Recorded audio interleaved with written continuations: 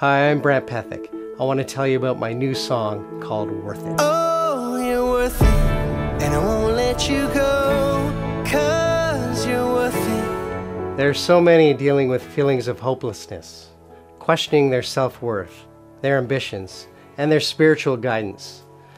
I wanted to write a song of healing, a passionate song representing the hope and guidance to overcome this struggle to find our worthiness.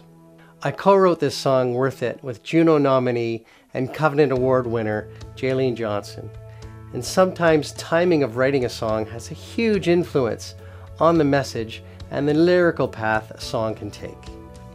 Jaylene expressed that she was recently at a church service and her pastor talked about how God confirms we are all worth it, how our scars represent our achievements, and our successful journey through life. So this inspiration naturally aligned with the song's intent, and what came out of our songwriting session was a song full of angst and emotion. Worth It was born. I was approached by a film production company in Ottawa, Hot Cakes New Media and Moonrise Productions, and they wanted to include the song Worth It in a short film they were producing. Their film, titled The Gift, is about a young man struggling with depression embarks on a journey back into the world he withdrew from. A journey to find out what really motivates us as we navigate through the challenges in our lives. Now, I performed a live version of Worth It, and it was included over the end credits in the film.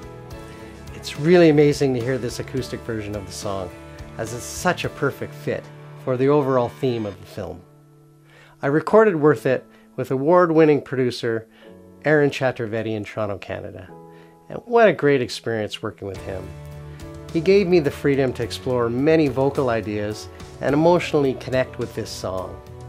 That emotion came through, and with Aaron's production, have resulted in a graceful and soulful song.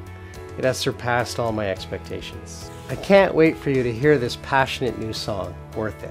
I hope you like it.